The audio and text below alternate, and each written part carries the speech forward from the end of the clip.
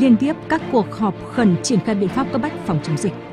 Thiết lập 5 vùng cách ly y tế với hơn 200 người bị phong tỏa, nội bất xuất, ngoại bất nhập. 40 trường hợp được xác định là F1 phải cách ly tập trung. 455 trường hợp là F2 phải cách ly tại nhà. Hàng quán đóng cửa, người dân hoang mang, lo lắng. Tất cả đều bắt nguồn từ một F0 thiếu ý thức chấp hành quy định cách ly phòng chống dịch COVID-19.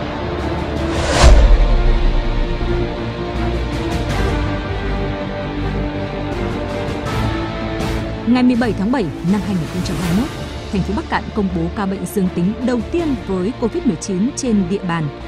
Được Bộ Y tế đánh mã số 48648. Bệnh nhân này được xác định là ca dương tính cách ly sau khi nhập cảnh đã từng có thời gian cách ly tập trung tại tỉnh Thái Bình trước khi trở về địa phương thực hiện cách ly tại nhà theo quy định phòng chống dịch COVID-19. Vì không phải ca bệnh trong cộng đồng, nên chuyện sẽ chẳng có gì đáng bàn nếu như sau khi được xác định dương tính với SARS-CoV-2, bệnh nhân này đã khai báo lịch trình di chuyển phức tạp đến nhiều nơi công cộng trong quá trình tự thực hiện cách ly tại nhà.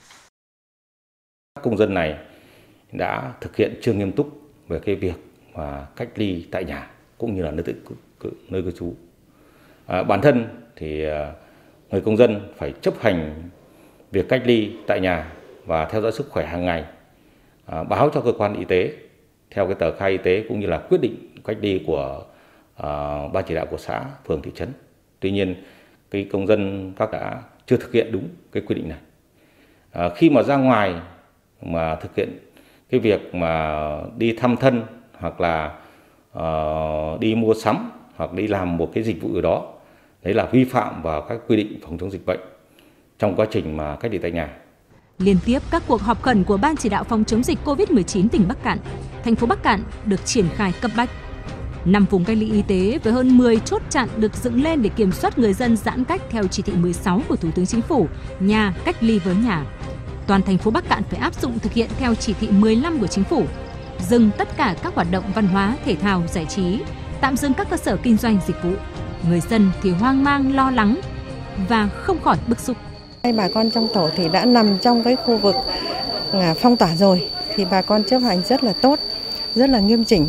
Nhưng mà nhiều người là e ngại về cái vấn đề là di chuyển của cái vấn đề F0 này, từ F0 nó ra cái F1 trong gia đình mà họ là cái trong cái phần di chuyển là họ chưa có một cái ý thức gọi là chấp hành tốt chưa giữ được cho cộng đồng cho nên là vấn đề này là bà thấy là nó nan giải và vô cùng phức tạp đấy. Tận dụng thời gian lập chốt, cách ly phong tỏa khu vực bệnh nhân 48648 sinh sống và các địa điểm mà bệnh nhân này từng đến.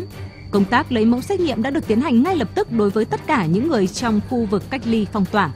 Liên quan đến bệnh nhân COVID-19 này, đã có hơn 1.000 mẫu dịch phẩm xét nghiệm SARS-CoV-2 được thực hiện. Cùng với đó, công tác điều tra dịch tễ, truy vết các trường hợp F1, F2, F3 của ca bệnh này cũng được ngành y tế, chính quyền địa phương coi là nhiệm vụ ưu tiên hàng đầu cần khẩn trương thực hiện để khoanh vùng dập dịch. Như vậy, cả hệ thống chính trị của một thành phố và của cả tỉnh đã bị cuốn vào nhiệm vụ phòng chống dịch khẩn cấp. Cuộc sống của hàng nghìn người dân trên địa bàn thành phố nói riêng và toàn tỉnh bị đảo lộn. Nghiêm trọng hơn, thành quả về việc duy trì không để xảy ra ca bệnh COVID-19 thứ phát trong cộng đồng của tỉnh Bắc Cạn có nguy cơ đe dọa bị phá vỡ. Qua cái ờ, sự việc như trên thì chúng ta thấy rằng là ý thức người dân rất là quan trọng trong công tác phòng chống dịch bệnh.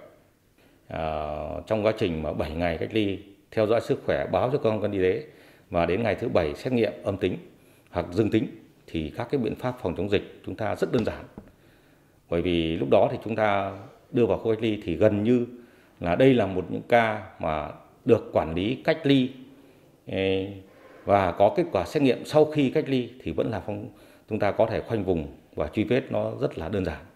Tuy nhiên, nếu như một công dân mà khi mà thực hiện việc cách ly 7 ngày tại nơi cư trú mà có cái hành trình cũng như là đi lại rất phức tạp thì ảnh hưởng đến toàn thể xã hội, rất lớn đến quá trình mà hoạt động phát triển kinh tế, văn hóa tại cái địa phương.